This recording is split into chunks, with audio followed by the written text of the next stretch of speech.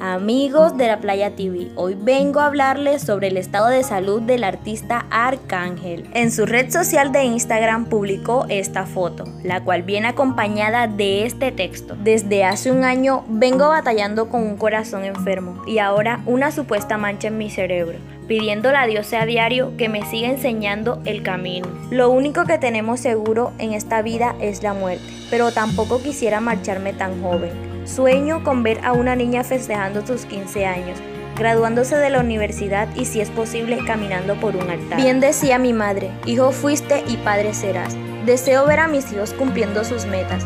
Quiero que mis hermanos y mis amigos logren todo lo que se propusieron y quiero estar presente. Quiero darle más honor todavía a mi madre y al barrio que me vio crecer. He sido buen hijo, padre, hermano y muy buen amigo. Para los que podrán contarlo, y por tal razón me siento tranquilo. Agradecido infinitamente con todas sus bendiciones y gracias por tenerme en oración, honor, lealtad y respeto, hasta que seque el mar y llueva para arriba. Gracias a Dios por los fanáticos como los que tengo.